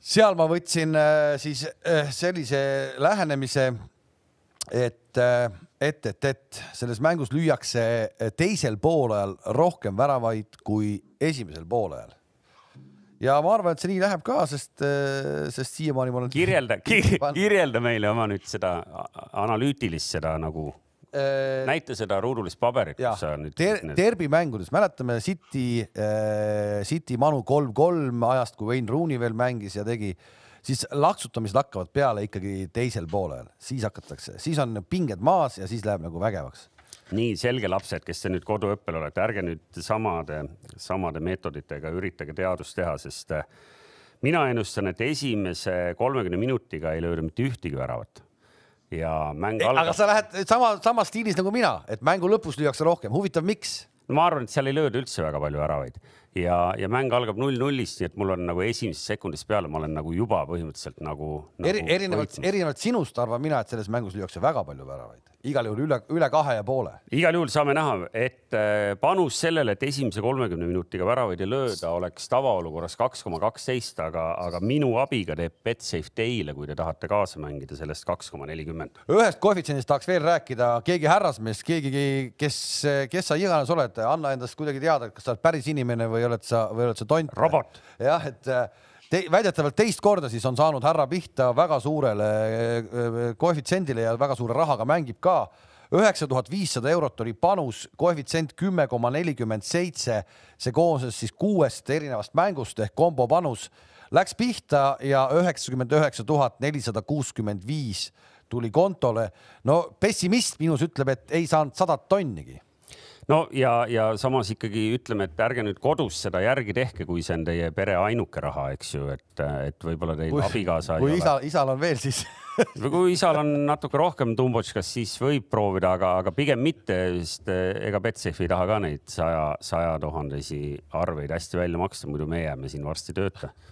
aga, see jah, ma mõtlen, ma pole tükk aega palka saanud, mis seal toimub nagu, aga aga uskumatu, uskumatu ikkagi üheksa tuhande viiesajaga tehakse mingi selline kombo ja, ja pannakse pihta. uskumatu, et ta paneb üheksa tuhande viiesajaga kombot muidugi, see on ka omaette uskumatu. no just, just. et julge poiss, julge poiss noh. nii on, tänased jutud on sellega räägitud. oota, oota, Toomas, Toomas. õige, õige, õige, meil on ju. kui, kui, kui teie mänguseis on kuus-neli ennustusmänguseis, siis sellest teisest mängust, mis siin taustal käimas on. õige, muidugi koroona karikasari endiselt käimas ja, ja lõpeb nüüd äh, varsti ära, sest nelikümmend mängu on juba mängitud ja kas äkki oli neljakümne viiest parem oli ei teil kokku, lepitud? mäng on kevadine, ma räägin rahulikult jälle ära, mismoodi, nii, mäng on kevadine. koroona karikas seis Gerd Kamsi kasuks kakskümmend neli, kuusteist. põhimõtteliselt see on juba skoor, kus boksis oleks tulnud. äh, kakskümmend, mäng on kevadine, kakskümmend kaks, kuusteist oli seis ja mul oli tegelikult vaja juba minna nii-öelda ülekande juurde selle, see Kams käib peale, teeme kaks veel, mul juba kõik, kõik mängust nii-öelda nagu, nagu aga Kams välja- mängis viis viimast, mängis ilma sinuta. põhimõtteliselt mängis jah, ja võttis seal kahekesi, üksinda mängis ja võttis sealt kaks ära, nii et kakskümmend neli, kuusteist läks juhtima, aga eh, kui me nüüd selle loba kokku võtame, on näha paranemist ja ma olin valmis kolmapäeval uuesti ründama tagant ja see põgenes kuradi Pärnusse. see skoor on seda see skoor on seda üllatavam, et, et Kalev, kellel on ju noh, nagu ikkagi ka igapäevaselt eh, hambaproteesi pulber taskus, ei ole seda suutnud ka seal kuidagi nagu oma edu. nüüd lähengi panen, nüüd lähengi panen peale, tegelikult ma kolmapäeval juba tegin laua libedamaks, et oleks okei okay mängida, aga noh, see ma räägin, see mõtleb välja omale igasuguseid asju noh. nii, aga selle. vaata klassi, klassiga, klassiga mees mängib iga laua peal, et noh, nüüd ta üritab juba selliseid vahendeid valida, et rahu, rahu. selle, tagant rünnata. selle positiivse noodiga lõpetamegi täna. ja kohtume veel ennem jõule. jah. tundub küll, kui kõik läheb plaanipäraselt, peab märkmikust üle vaatama jälgige Betsafe'i eh, kanaleid, aga plaani järgi kohtume tõesti veel kahekümnenda, enne kahekümnendat, mitmes eh, järgmine reede on, on kaheksateist. üheksateist. ja, ja ei, kaheksateist. kohtumist, siis meil on vaja ikkagi rääkida ja siis Kink näitab, kuidas ta pakib ka. ja nägemist. kohtumiseni. nägemist. kõike head kõigile. head päeva mida on vaja, et saada võitjaks? kujutle seda väge, omada meeskonda kõigi teadmiste ja kogemustega. võitmine on meeskonnasport. leia oma meeskond